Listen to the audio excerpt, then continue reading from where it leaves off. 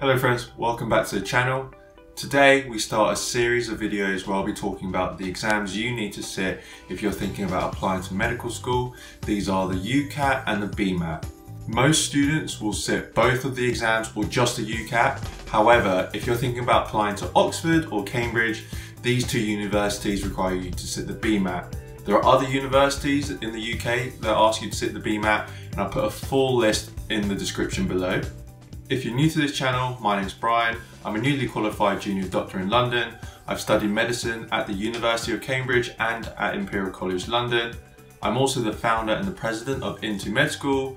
We're an organisation that provide free support and mentorship for children all over the UK hoping to apply to medical school if you want more information, I'll include it in the description below. This video is for anyone very early on in thinking about applying to medical school. This one's an overview of the BMAT and what you need to know before you start revising for the exam. Okay, firstly, what is the BMAT? The BMAT is a two-hour exam testing your scientific knowledge and your ability to apply your knowledge to multiple choice questions. The BMAT is made out of three sections. I'll be going through each section in a lot more detail in my future videos. This video is just to give you a really quick overview. Section 1 of the BMAT tests your problem solving skills, your ability to analyse data and to understand arguments.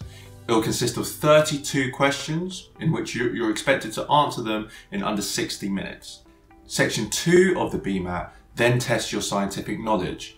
You'll be asked to complete 27 multiple choice questions and you'll have 30 minutes to do it. The level of knowledge that you're expected to know will be that of someone who's done GCSE, sciences and maths. Section 3 of the BMAT is in the essay writing component.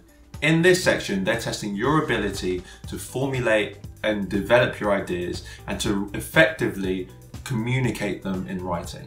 You'll be given three possible questions and you'll be asked to pick one of them and write an essay about it. You'll get up to 30 minutes to write this.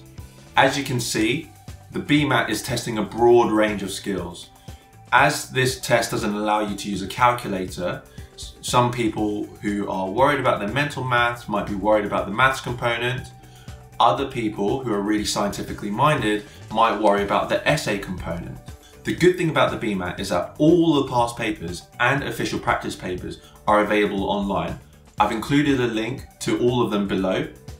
With enough practice and with the tips that I'll be going through in this series of videos, you should feel well prepared. Okay, so I've kept this video short just to give you an overview of the BMAT. In my future videos, I'll be going through each section in plenty more detail, as well as giving you my top tips. If you're interested in these videos, then please subscribe. If you've got any questions at all or any comments, put them in the comments section below. Finally, thank you very much for watching and I'll see you next time.